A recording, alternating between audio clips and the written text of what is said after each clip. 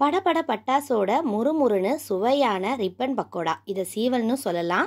தீபாவளி ஸ்பெஷலில் இன்னைக்கு கொஞ்சம் வித்தியாசமாக கடலை மாவு சேர்க்காம உடச்ச கடலையை வச்சு பொட்டுக்கடலைன்னு சொல்லுவோம் இல்லையா? அதை வச்சு தான் நம்ம இந்த ரிப்பன் பக்கோடா செய்ய போகிறோம் இதுக்கு நூறு கிராம் உடச்ச கடலை எடுத்துக்கணும். மிக்ஸி ஜாரில் போட்டு நல்லா நைஸாக பொடி பண்ணி எடுத்துகிட்டு வந்துடலாம். நீங்கள் பொடி பண்ணிவிட்டு கை வச்சு பாருங்கள் நல்லா நைஸாக இருந்துச்சுன்னா நீங்கள் ஜலிக்க தேவையில்ல.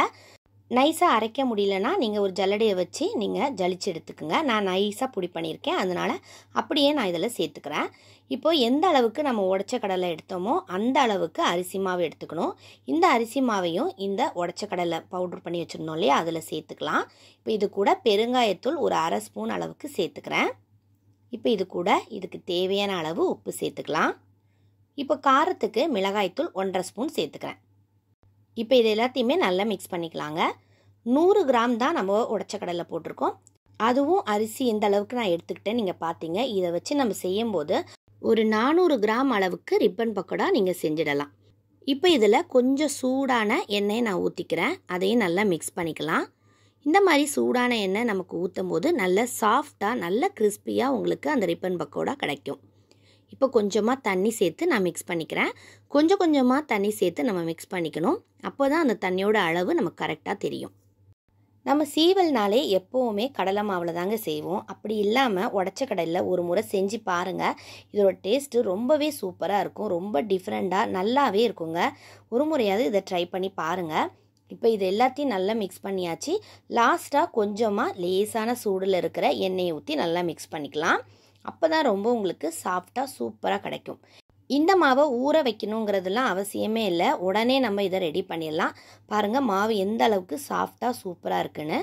இப்போ சீவலுக்கு தேவையான அச்சும் ரெடியாக இருக்குது இப்போ அதை போட்டுட்டு மாவை நம்ம இதில் ஃபில் பண்ணிடலாம்.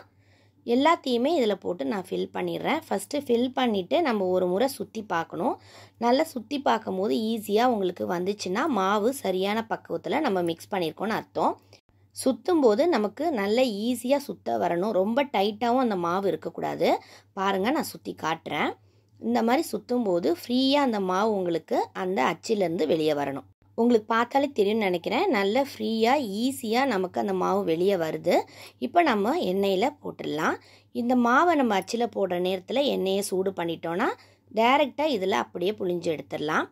மாவை போட்ட உடனே நீங்கள் இந்த மாதிரி கலக்கக்கூடாது. ஒரு ரெண்டு மூணு நிமிஷம் ஆனதுக்கப்புறமா தான் கலக்கி விடணும்.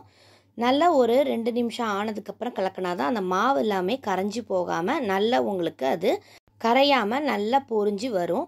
இந்த மாதிரி சுறுசுறுப்பு அடங்கினதுக்கு அப்புறமா நீங்கள் எடுத்துடலாம். இதுக்கு மேலே நீங்கள் வச்சுருந்தீங்கன்னா கருகி போயிடும். இந்த கலரில் வரும்போதே நீங்கள் இதை எடுத்துருங்க. கரெக்டான டைம் இதுதான்.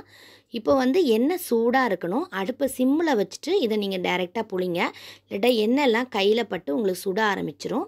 ஃபஸ்ட் டைம் போடுறவங்களா இருந்தால் அடுப்பை சிம்மில் வச்சுட்டே போடுங்க. யாராக இருந்தாலுமே அடுப்பை சிம்மில் வச்சுட்டு தான் போகணும். ஏன்னா எண்ணெய் சூடாக இருக்கும் போது தான் இதை நம்ம டைரெக்டாக புளியணும் அப்போ தான் உங்களுக்கு இந்த மாவு கரைஞ்சி போகாமல் சீவல் உங்களுக்கு அழகாக வரும். என்ன சூடு இல்லாமல் நீங்கள் இதை புழிஞ்சு போட்டுறாதீங்க. அவ்வளோதாங்க இந்த தீபாவளிக்கு அட்டகாசமான ஒரு வித்தியாசமான சீவலை நீங்கள் பார்த்துருப்பீங்க நான் நம்புகிறேன் சூப்பரான உடச்ச கடலை சீவல். ரிப்பன் பக்கோடா ரெடி ஆயிடுச்சு. இந்த தீபாவளிக்கு நீங்களும் இந்த மாதிரி வித்தியாசமான ரிப்பன் பக்கோடாவை செஞ்சு அசத்துங்க. இந்த வீடியோ பிடிச்சிருந்தா லைக் பண்ணுங்கள் உங்கள் ஃப்ரெண்ட்ஸ் அண்ட் ஃபேமிலிக்கு ஷேர் பண்ணுங்கள் புதுசாக இந்த வீடியோ யாராவது பார்த்துட்ருக்கீங்களா பிடிச்சிருந்தா லைக் பண்ணிவிட்டு சப்ஸ்கிரைப் பண்ணுங்கள் தேங்க்யூ